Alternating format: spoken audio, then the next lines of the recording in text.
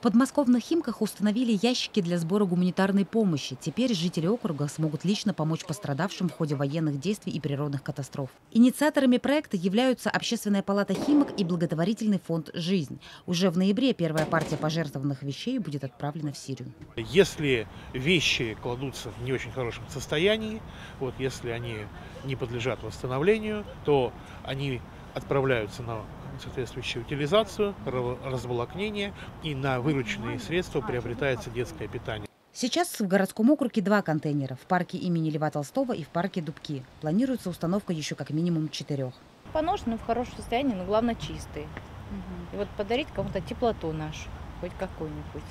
Ксения Брагина, Дмитрий Бочаров, служба новостей.